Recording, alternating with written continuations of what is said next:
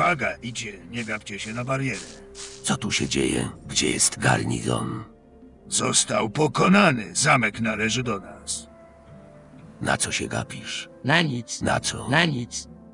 Napiszę do Robara, dowie się co tutaj robicie. Chyba ja napiszę o tym, co zrobiliście z barierą.